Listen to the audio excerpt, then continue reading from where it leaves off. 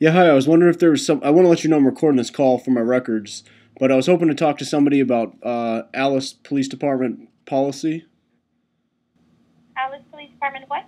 Policy uh, in regards to As far as what? in regards to filming police employees in the course uh, while they're at work. You're probably going to have to call back and talk to administration about that. Okay, you don't know offhand uh, what the protocol is or anything. Not I don't. Would you be surprised to hear that uh, a man uh, a couple weeks ago in Alice was uh, put in handcuffs and, and arrested for filming uh, from private property the actions of some Alice police employees? I don't have any information about that.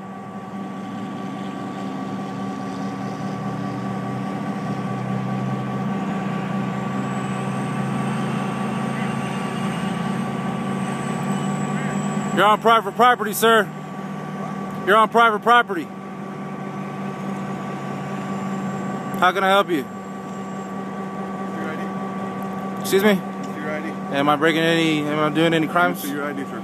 Am I Let me committing see any your ID, crimes? sir, because if this ends up on YouTube or something like that. Sir, you're on private property, sir. I'm just letting you know right now. I'm letting you know right now, I'm letting You know right now you need to show me your ID. I don't have to show you either. I'm not committing any crime, sir. Now you're under arrest. Okay, sir. I'm, ID. Put okay, your look, behind your back. look, I'm not committing any crimes. Well, you're not giving me your ID.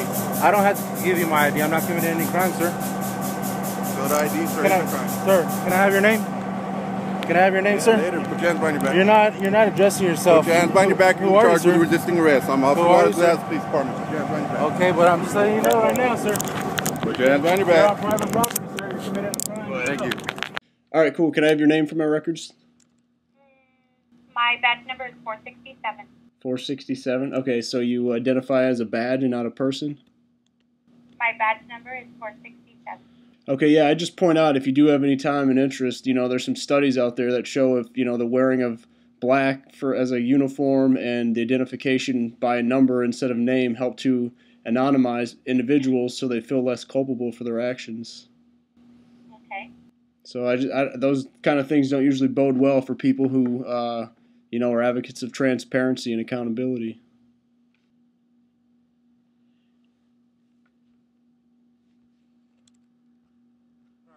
reading a report where the officer's justifying his actions.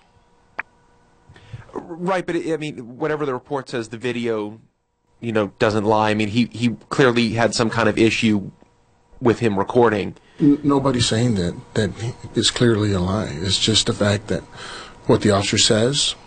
I don't want it to end up on YouTube, and the report itself kind of coincide. But they don't coincide at all because Martinez says the officer never mentioned anything about his YouTube comment in his report. He doesn't put on his report that he doesn't want it on YouTube, but he does put on his report that he attempts to identify the individual to see what the purpose was of the video and to identify him as a witness for court proceedings. Does it concern you though that an officer would approach somebody uh, and make a comment? You know, uh, if this ends up on YouTube, or what if this ends up on YouTube when it is it, it is legal to to record police officers? Well, it's not a matter of concern, it's what's right, and uh, we'll look into the matter and see if that's what took place. By the way, federal courts have ruled that it is not illegal to record police officers. Uh, I was hoping to speak to someone about uh, policies in terms of filming police officer actions uh, related to Nick Juarez's uh, action last month when he kidnapped and caged somebody for filming his vehicle stop.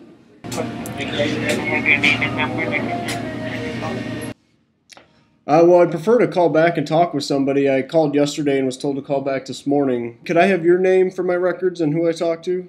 Sure, my name is Georgia Olive. Georgia Olive. Okay, and you know if you're employed at the Alice Police Department and you're working with a guy like Nick Juarez who just put somebody in handcuffs and brings them to a cage for filming their actions, I don't. I guess I'm curious to hear your thoughts on that. I, I can't voice an opinion. I don't know the officer's uh, duties. I don't know what's going on, so I can't answer. And I would hope that if you you became uh, aware of it and you didn't think it was uh, just, that you would speak out against it. Is that something that's plausible? Yeah, I'll call back, but I just Okay, sir. But you have a nice day and happy New Year. Yeah, you as well. I just encourage you to, to question what your colleagues are doing. I think they're not treating some people very very nicely.